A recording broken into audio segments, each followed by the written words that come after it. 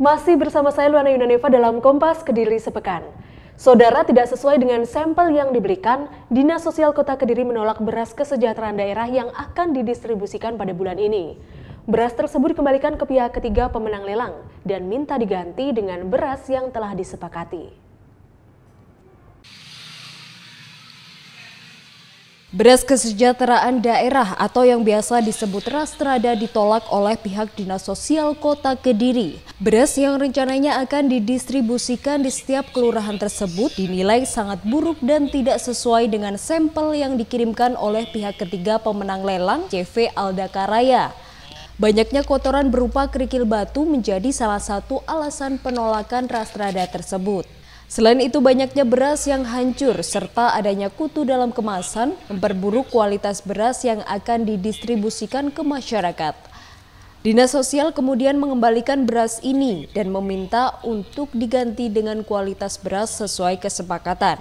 Sesuai aturan, pihak ketiga pemenang lelang Rastrada mengirimkan sampel beras untuk diuji laboratorium. Nantinya hasil uji laboratorium tersebut akan disimpan oleh Dinas Sosial sebagai contoh beras yang akan didistribusikan. Dinas Sosial juga menolak untuk membayar Rastrada jika tidak diganti dengan beras yang kualitasnya sesuai hasil uji laboratorium. Dokumen dari laboratorium cek beras itu kita amankan di dinsos sebagai bahan pembanding, sebagai sumber, sebagai contoh untuk beras yang akan dibagikan ke masyarakat. Dalam penyalurannya, setiap kepala keluarga berhak menerima 15 kg beras yang dikemas menggunakan tiga plastik berisi 5 kg. Masyarakat yang terdaftar membeli beras tersebut dengan harga Rp1.600 per kilogramnya. Tim Liputan Kompas TV Kediri, Jawa Timur. Saudara, sebuah struktur batu bata kuno ditemukan oleh warga Jombang di areal persawahan. Struktur batu bata sepanjang 25 meter tersebut diduga merupakan peninggalan dari zaman Kerajaan Majapahit. Batu bata kuno ini ditemukan warga saat sedang menggali tanah di areal persawahan Desa Karobelah, Kecamatan Mojoagung, Jombang. Struktur batu bata yang tersusun dengan tinggi sekitar 30 cm ini terpendam dalam tanah sedalam setengah meter. Selamat Warga yang pertama kali menemukan struktur batu bata kuno ini awalnya menggali untuk mengambil tanah di areal persawahan ini sebagai tanah uruk rumahnya. Saat menggali di saluran air yang sudah tidak digunakan tersebut, tiba-tiba ia menemukan tumpukan batu bata. Karena penasaran, ia akhirnya menggali tanah untuk melihat struktur batu bata yang ada. Bata merah mm -hmm. yang saya temukan itu batu batanya anu pak uh, ukurannya tidak ukurannya gimana pak ukurannya ukurannya ya kayak batu laos batu kuno lah batu kuno ya. ya sementara itu Balai Pelestarian Cagar Budaya Jawa Timur yang meninjau lokasi penemuan menduga jika temuan struktur batu bata kuno tersebut merupakan kanal air. Namun, untuk memastikannya dibutuhkan penelitian dan penggalian dari tim ahli benda cagar budaya. Nanti dari uh, tim ekskavasi juga tim penyelamatan akan mengkaji ke lokasi uh, langkah apa, apa memang perlu diadakan suatu konservasi atau penggalian atau tidak. Jadi nanti kita akan kembali ke lokasi. Tak hanya struktur batu bata, di sekitar lokasi penemuan juga ditemukan banyak serpihan tembikar serta keramik yang diduga berasal dari zaman kerajaan Majapahit. Muhammad Safiuddin, Kompas TV Jombang, Jawa Timur. Saudara tim Pusat Penelitian Arkeologi Nasional menemukan benda purbakala berupa arca dua rapala. Arca dengan tinggi 180 cm tersebut diduga merupakan bekas peninggalan Kerajaan Kadiri.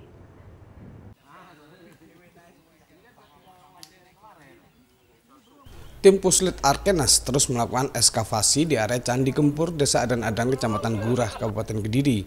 Dalam ekskavasi kali ini, petugas berhasil menemukan arca dua rapala di kedalaman 80 cm.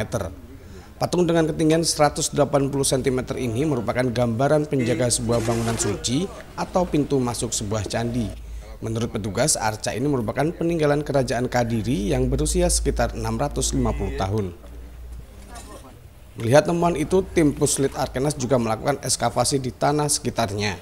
Hasilnya 10 meter ke arah selatan dari arca tersebut juga ditemukan lapik atau sebuah batu yang digunakan untuk meletakkan arca. Sementara itu pihak Balai Pelestarian Cagar Budaya Trowulan akan berkoordinasi dengan pihak Pemda setempat terkait pelestarian temuan dari para peneliti tersebut. BPJB Trowulan berharap pemerintah Kabupaten Kediri dapat menyediakan tempat sementara untuk menyiapkan temuan benda purbakala itu.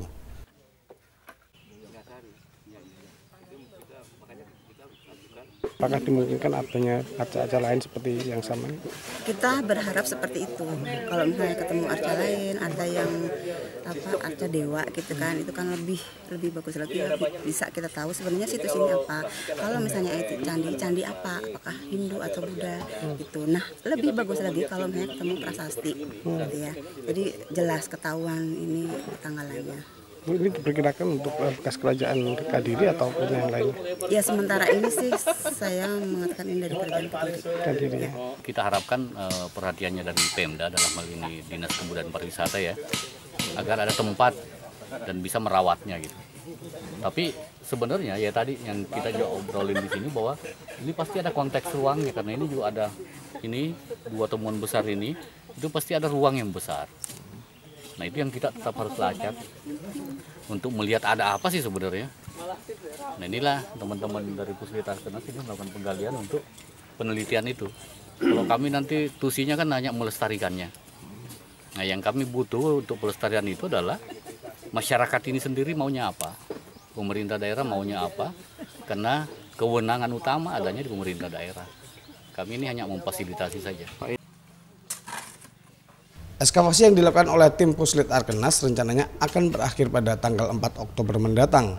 Tim akan kembali melakukan penelitian di lokasi tersebut pada tahun 2018. Andi Mas Budi, Kompas TV Kediri, Jawa Timur.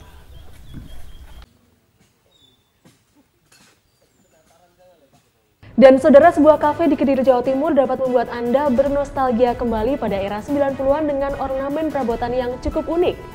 Seperti apa kedai kawan lama tersebut? Informasinya akan kami hadirkan usai jeda yang satu ini.